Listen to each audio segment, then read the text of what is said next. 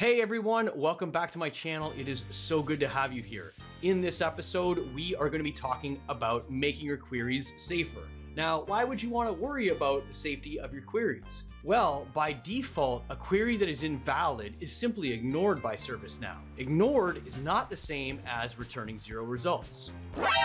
If you want to see how terrible the consequences can be of that, I did two videos just recently, one on dot .get and one on dot .add encoded query in the GlideRecord class. In these videos, you can see how disastrous things get. Today, I'm going to show you a sys property that you can put on your system that will avoid any disasters of an invalid query. First up, let's see what the stakes are. Here I have a script, and the first thing I'm gonna do is call a variable called raw inc count.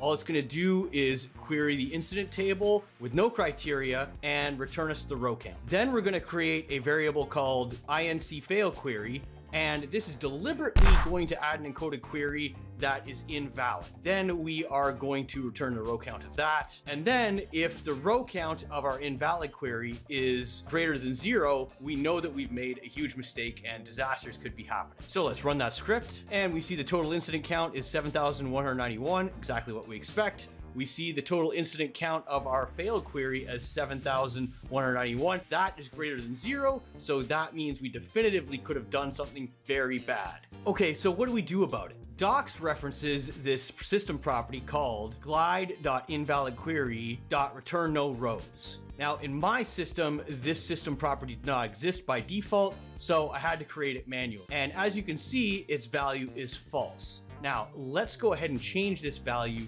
to true. And what we expect it to do based off the name is to return zero in cases of an invalid query. That would be no rows returned.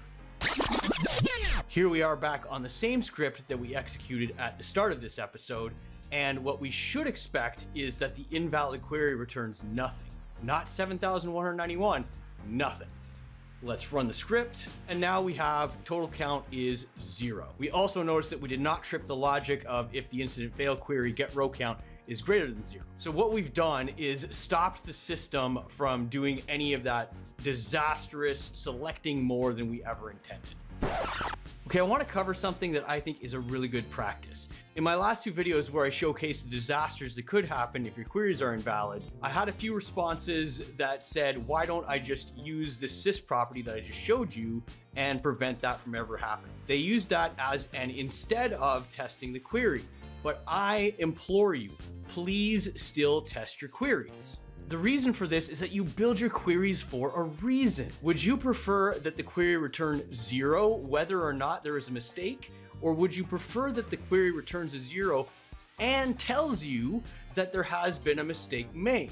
I prefer the latter. Otherwise, I have the same problem in the opposite direction. Instead of false positives, I'm getting false negatives. So if we do have invalid queries, you should take the opportunity to test for them and send feedback back to the admin that tells them that there's a problem with the query. So here's a quick script that I made that has a query string that contains an invalid query, is going through a GlideRecord on the incident table.